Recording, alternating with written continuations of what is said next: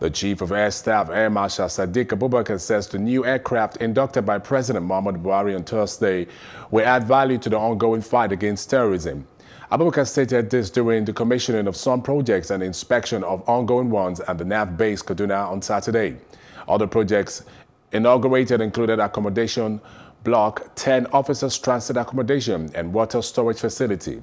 The air chief also inspected the ongoing water treatment plant, classroom blocks, 500 sitting capacity blocks, regiment training center, student dining hall, among others.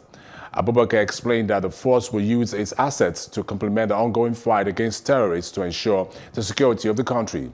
He pointed out that out of the 22 inducted aircraft, 10 were in Kaduna, while 32 student pilots were currently undergoing training to boost NAF operations with a view to repositioning the force into a highly professional service.